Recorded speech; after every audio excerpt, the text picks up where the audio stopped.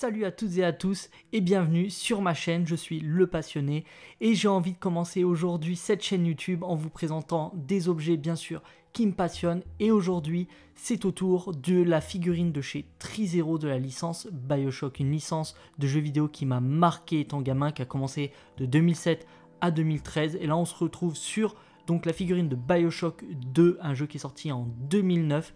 Et on va pouvoir découvrir aujourd'hui la figurine du sujet Delta avec sa petite sœur.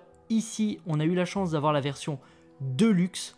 Et vous allez voir qu'il y a vraiment de très belles choses à voir sur cette figurine. On va commencer tout de suite en détaillant la boîte. Au niveau du packaging, on retrouve directement sur la face avant le sujet Delta avec la petite sœur qui trône au-dessus de lui avec la vitre, avec un décor super sympa, la vitre qui est en train de céder, l'eau qui est en train de rentrer dans la pièce, ça représente vraiment l'esprit du jeu. On a sur le dessous directement le logo euh, Tri-Zero avec les warnings habituels et une vue de la cité de Rapture qui est une référence directe à la scène d'introduction du premier jeu. Pour les tranches, eh bien écoutez, que ce soit la gauche, la droite ou le dessus, c'est la même chose. C'est le nom de la figurine, le logo du jeu et une petite vue de la cité de Rapture. Là où ça va être intéressant, c'est sur la tranche arrière où là on a un visuel complet de la figurine, un peu dans une pose on va dire muséum, avec la petite sœur qui se trouve à ses côtés. Je trouve pas que ce soit une pose euh, très sympathique, la, la position du sujet Delta est un peu bizarre, mais ça fait l'affaire, c'est une boîte qui reste quand même très très sympa dans l'ensemble et qui je trouve respecte totalement le design de la série de jeux on se retrouve directement face à la bête. Ce qu'on va faire, c'est qu'on va retirer le plastique pour pouvoir la découvrir. J'ai préalablement retiré les plastiques parce que bon, euh, il y en avait trop, ça aurait pris beaucoup trop de temps à la vidéo. Donc pour faciliter la tâche, je les ai retirés et regardez-moi ce monstre, c'est majestueux. Les détails, le weathering, la rouille, tout y est. Mais on verra ça juste après. On va d'abord s'intéresser à tous les accessoires qui sont dans la boîte. Donc nous voici devant tous les accessoires disponibles avec cette figurine. Avant de commencer, je voulais vous parler de ce petit écriteau qui est donc un petit mot de chez Trizero qui en fait euh, explique la différence qu'il y a entre la version prototype et le produit final, c'est-à-dire que comme expliqué en fait plus haut, il y a eu une erreur au niveau du prototype sur la position des mécanismes sur la foreuse et cela a été euh, en fait modifié à temps en usine afin que les consommateurs aient un produit qui soit le plus accurate. C'est quand même super sympa de la part de Trizero d'avertir ses consommateurs comme ça. Ensuite, nous avons le petit écriteau qui détaille le système de light-up, parce que oui, le sujet Delta et sa petite sœur viennent avec un light-up, enfin du moins juste le sujet Delta, qui aura un éclairage au niveau de son scaphandre et au niveau des mains. Il faudra prévoir trois piles pour le scaphandre et trois piles au niveau de la main. Nous avons aussi un tuto afin d'enlever la foreuse parce que oui, on peut y mettre une autre main car le personnage au travers du jeu est amené à enlever sa foreuse pour bien sûr prendre des armes à feu qui elles ne sont malheureusement pas fournies. On se retrouve directement face à la deuxième petite figurine qui vient accompagner notre sujet Delta. Petite pourquoi? Parce qu'elle fait à peine 15 cm, vous voyez elle tient dans une main et encore ma main est petite. Donc vous pouvez voir que elle a un teint qui est vachement respecté par rapport à la série, on retrouve les yeux euh, jaunes euh, typiques des petites sœurs. Sur la tête, on aura un nœud papillon sculpté qui est dégueulasse à souhait. Les cheveux sont sculptés, le paint est bien géré. Au niveau du tailoring, c'est vraiment super impressionnant. Les équipes de Trizero ont réellement mis les petits boutons. Ils ont bien sali la robe, ils l'ont bien déchiré en multiples endroits. Vous pouvez voir ici sur l'épaule, le torse et le bas de la robe. Au niveau des membres, c'est sale. C'est tout ce qu'on veut. Les pieds sont sales, les mains sont sales. On sent vraiment que la figurine a du vécu. Elle a de nombreux points d'articulation et il va y avoir vraiment pas mal de choses à faire avec. Vraiment une très belle réalisation de la part de chez Trizero. Bien sûr, avec la petite sœur viendront une paire de mains supplémentaires qui sont vraiment bien réalisées, bien sympathiques. Ce sont les mêmes que celles qui sont déjà présentes sur la figurine, mais bien sûr avec un côté inversé, c'est-à-dire la main droite fermée est à gauche et la main gauche euh, ouverte est à droite sur ma figurine. Mais là, vraiment, on se retrouve sur euh, quelque chose de très propre. Ça ne, ça ne diffère en rien avec celles qui sont déjà sur ma figurine, mais c'est toujours un ajout sympa afin de pouvoir multiplier les poses et surtout faire tenir les deux accessoires qui sont fournis avec la figurine. Du coup vient avec cette fameuse poupée du protecteur qui vient donc avec l'édition Deluxe de la figurine. Ce n'est pas dans la version régulière, c'est vraiment le seul objet qui, différera en fait avec la version régulière. C'est l'ajout de cette petite poupée qui est super bien réalisée, qui est en un seul bloc, qui est assez fragile je pense au niveau de la foreuse ici, il faudra pas trop manipuler, ça peut se bouger légèrement au niveau des bras et des jambes mais il n'y a pas de système d'articulation, que ce soit au niveau de la tête ou au niveau des membres. C'est super bien fait, hyper accurate à la série.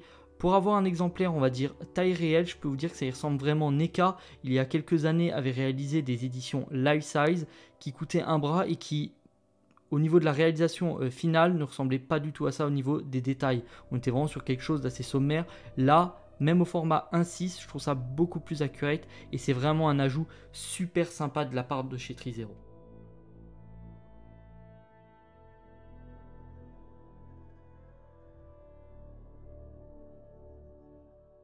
Bien sûr, la petite sœur ne pourrait pas être sans son arme de prédilection, la seringue d'Adam.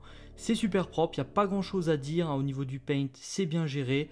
La fiole euh, d'Adam rend super bien, on y croit vraiment. C'est vraiment un super accessoire qui va pouvoir embellir la figurine.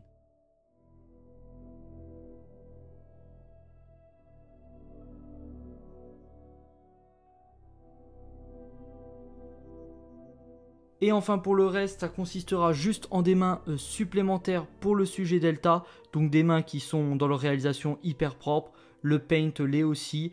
Vraiment comme les mains qui sont déjà présentes sur la figurine. Donc là on a deux points fermés bien sûr, main droite et main gauche qui n'auront pas de système de light-up. Il n'y a bien qu'une seule main qui a un système de light-up. On aura donc également ici les deux mains euh, paumes ouvertes. Donc une qui est un peu ouverte totalement et l'autre qui est un peu refermée. Celle-là aura plus pour but de porter par exemple la petite sœur et celle-ci euh, aura vraiment l'utilité d'une main détendue ou alors de donner la, main à une petite sœur, ce qui est souvent fait par les euh, protecteurs afin de guider la petite fille dans les rues de rapture. Et finalement viendront ensuite les deux pegs de rechange. Bon, il n'y a rien à dire, hein, on est habitué. Au moins s'il y a de la casse, ça permet toujours d'anticiper un peu. Quel idiot, j'ai failli partir en oubliant de vous présenter la dague, le couteau de plongée du sujet Delta qui était présent à côté de la figurine qui n'était pas dans la boîte des accessoires. Le paint est bien géré, le weathering également comme d'habitude. On est vraiment sur un beau petit objet qui est assez long, qui vous le verrez à son propre fourreau sur la figurine et qui rend vraiment super bien. Et voilà mes chers passionnés, là on se retrouve avec le sujet Delta dans sa globalité. On va commencer par la partie basse, donc les chaussures, ou du moins les bottes de scaphandrier hein, pour être plus précis, sur lesquelles on retrouve le logo Trizero et le logo, enfin du moins les mentions de Tech2 Interactive Software, qui bien sûr possède la licence Bioshock et qui a autorisé euh, la marque Trizero à produire cette figurine. Donc au niveau des bottes, eh ben, c'est très simple, on a un effet de martelage qui est vraiment super bien réussi. On a le système de lacet qui n'est pas euh, en vrai cuir mais qui est, euh, sculpté. Pourquoi? Alors ça c'est une bonne question parce qu'on va voir que sur la figurine il y a du cuir dans sa globalité, hein. mais euh, au niveau des chaussures ils n'ont pas voulu le faire. Peut-être que c'était plus simple au niveau de la production. Bon, le fait est que ça, ne marque pas étant donné qu'on voit, voit très peu les chaussures, on va plutôt se porter sur le reste du scaphandre qui lui a de réelles qualités. On retrouve ici les genouillères avec un effet de weathering qui est super bien respecté sur les deux. C'est sale, ça, ça montre que ça a une, euh, une certaine vie avant, ça, ça a frotté, ça, ça a servi au combat. On a les lanières derrière qui sont en cuir. Je pense que ça tiendra bien sur le temps. Moi personnellement, cette figurine, je l'ai depuis à peu près un an. Euh, j'ai rien à déclarer, il n'y a pas de cuir qui ont lâché, euh, rien, de, rien de flagrant en tout cas. Ensuite, on a euh, le reste de la combinaison, donc du scaphandre, euh, qui est euh, dans un tissu, un tissu très épais. vraiment, ça, ça tiendra dans le temps. Ça marque pas. on peut voir qu'avec les lanières en cuir, ça n'a rien fait de particulier. le frottement avec les bras ou avec éventuellement la foreuse n'ont rien fait. D'ailleurs, je ne pense pas que ce soit fait exprès, c'est sur le design du personnage, mais on a les pads ici sur le côté en cuir qui sont hyper bien cousus, il n'y a rien qui dépasse c'est vraiment propre, il n'y a rien à dire. On a ensuite la ceinture de plomb qui permet donc avec l'encre de se maintenir bah, en profondeur, hein, parce qu'il faut, savoir que les, les, protecteurs ne servent pas qu'à protéger les petites sœurs et à tuer des chromosomes, mais servent bien donc à maintenir euh, la cité de Rapture en état. Donc ils peuvent être amenés à être euh, en milieu sous-marin afin d'y effectuer des réparations et le sujet Delta n'y déroge pas, euh, malgré que ce soit le premier de, sa génération. Au niveau donc de l'encre, elle est en plastique, il n'y a pas de partie métal sur ce personnage, mais le cordage lui est bien, est bien fait bien réel, donc avec euh, un effet de salissure qui est super bien, qui est impeccable. On retrouve ensuite le visage, on va dire le head sculpt, ce serait un peu prétentieux de dire ça parce que c'est un seul bloc, hein, on ne peut pas le changer, on ne peut pas le modifier, il n'y en a pas euh, de deuxième c'est un seul bloc qui est lié à la figurine. Je ne pense pas que ce soit désolidarisable ou à moins de casser quelque chose. Je n'ai pas envie de forcer, je dois vous avouer, c'est ma copie personnelle. Donc on a les écrous là qui sont, bien faits, qui sont malheureusement un peu trop alignés à mon goût. J'aurais voulu qu'ils soient un peu plus hasardeux étant donné que le serrage euh, aurait commencé à avoir euh, un peu de temps et qui forcément aurait commencé à se desserrer par endroits, etc. Mais bon, c'est qu'un détail infime euh, soit-il. Là, ici, on retrouve la visière. Donc la visière qui est avec un light-up jaune, qu'on verra tout à l'heure. Ici, les projecteurs qui s'éclairent également. Sur le dessus, on a la caméra qui malheureusement ne fait aucune lumière, que ce soit un point rouge ou quoi que ce soit qui montre l'enregistrement. C'est un peu dommage, mais pareil, c'est assez anecdotique. C'est pas, pas ce qu'on utilise le plus dans le jeu et il faut savoir hein, qu'il y a une caméra, à moins de bien connaître le personnage. Ensuite, sur le bras gauche, on aura euh, donc Ici, ce qui sert à mettre euh, les seringues de plasmide. Alors c'est euh, sculpté, on ne peut pas y toucher, hein, ça ne s'ouvre pas. J'ai ici placé la main ouverte qui a un système de light-up. Donc pour le light-up, c'est très simple. On ouvre ce petit cache, on l'enlève, on y met les trois piles à G3 et ça s'allume. Ça s'allume essentiellement au milieu. De mémoire, ça ne s'allume pas sur les doigts. On verra ça après. J'ai un petit doute, mais je suis quasiment sûr que ça ne s'allume malheureusement pas euh, sur les doigts. On a à l'arrière toujours de ce bras eh bien, les, euh, les coudières qui ont un effet, un paint qui est vraiment propre, qui fait, qui fait vraiment euh, métal au niveau des, vis, vous voyez, des écrous. Et ensuite, on a sur le bras droit, et eh bien là, là c'est impressionnant, la foreuse. Pour moi, c'est vraiment une partie, euh, une des parties principales de ce sujet Delta. C'est cette foreuse qui est super belle. Elle est vraiment super bien faite. C'est vraiment une partie, moi, qui m'a impressionné lorsque je l'ai déballé la première fois. Les détails sur les engrenages sont incroyables. Le paint est super bien géré. On a vraiment un effet de salissure. On sent que cette foreuse, elle a servi à défoncer du chromosome, qu'elle a servi pendant des années. Et euh, cette figurine de chez Trizero le retranscrit super bien. On peut d'ailleurs l'enlever, comme je disais euh, tout à l'heure avec les mains interchangeables, on peut l'enlever. Moi personnellement, je ne manipulerai pas trop parce que vu que c'est mon exemplaire, je sais que ça peut être fragile. J'ose pas trop y toucher pour moi, l'intérêt de cette figurine, c'est quand même d'avoir la foreuse. Je vois pas pourquoi on le, on le retirerait. On va passer ensuite maintenant sur l'arrière de la figurine.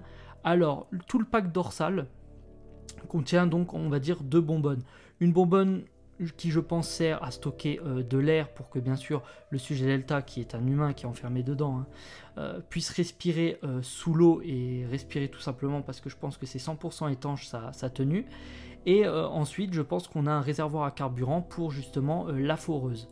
On a aussi ici deux réservoirs, donc à gauche le réservoir de vie, hein, qui permet de, restaurer la santé du personnage dans le jeu, et à droite le, réservoir d'Adam, donc qui permet vraiment d'alimenter les plasmides. C'est super bien fait.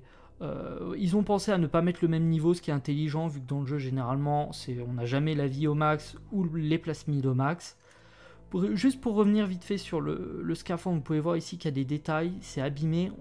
De toute façon, en règle générale, on voit que cette figurine a un weathering qui a vraiment été respecté. On sent que le sujet Delta a traîné pendant des dizaines d'années euh, dans Rapture, qu'il a combattu énormément d'ennemis et qu'il a ramassé dans la gueule, quoi, excusez-moi le terme mais c'est vraiment super bien fait. Ici, on a donc sur l'arrière la rampe. La rampe, à quoi elle sert? C'est tout simplement pour pouvoir placer une petite sœur. euh, afin de parcourir les rues de Rapture, les petites sœurs se fatiguent vite, elles ne servent en gros qu'à ramasser la dent, et une fois qu'elles ont chanté, euh, enfin une fois qu'elles ont fini de chanter euh, leur petite chanson, elles montent sur le dos du protecteur quand il s'agit de se battre, quand il s'agit de parcourir de longues distances.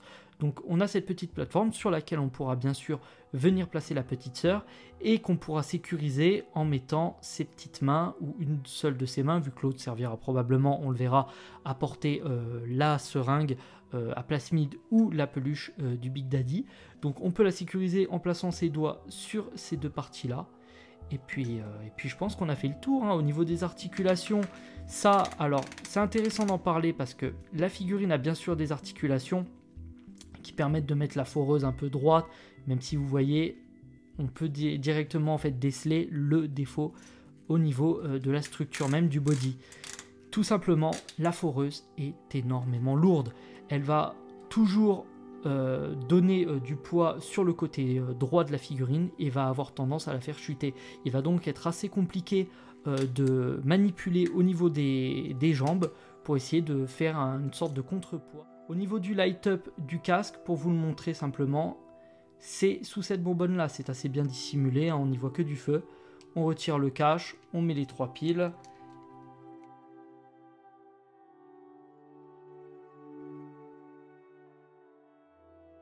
Figurine du sujet Delta, qu'en pensez Eh bien écoutez, moi je pense que Trizero a fait un coup de maître. Donc là on parle d'une figurine qui date de 2019, qui est super bien réalisée, que ce soit au niveau de la petite sœur, de ses accessoires ou du sujet Delta et de son costume tout simplement, tout son attirail, c'est super bien fait. Comme vous pouvez voir ici, j'ai alterné, donc j'ai eu le courage d'enlever la foreuse et j'ai placé la petite sœur comme ça dans une pose qui est vraiment super sympa.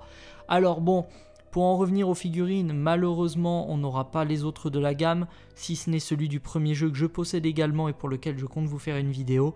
Malheureusement Trizero ne poursuit pas dans la licence, il aurait pu sortir par exemple le personnage du Rosie ou celui du Lancier qui sont des euh, protecteurs qui ont vraiment un design super sympa. Malheureusement je pense que les ventes n'ont pas été... Euh, euh, ce à quoi ils s'attendaient, donc malheureusement on n'a pas la suite de la série. En tout cas, j'espère que la vidéo vous aura plu. Pour moi, ça n'a pas été simple. Il s'agit de la première de la chaîne, comme je vous l'ai dit au début. C'était vraiment difficile à réaliser. Pas mal de contraintes techniques. J'ai vraiment essayé de me surpasser. Forcément, il y aura des, loupés, il y aura des cuts pas super bons, il y aura des erreurs de chronologie, voire même des faux raccords. Malheureusement, c'est la première. Je compte sur vous pour me faire des retours, des retours constructifs bien entendu. N'hésitez pas, il n'y a rien qui me vexera, il faut, être franc. Ça permet justement de s'améliorer. Moi, je vous dis à la prochaine. Je vous remercie par avance de vous abonner, de me rejoindre. Et cela va m'encourager à vous faire plein de vidéos. Allez, salut à tous.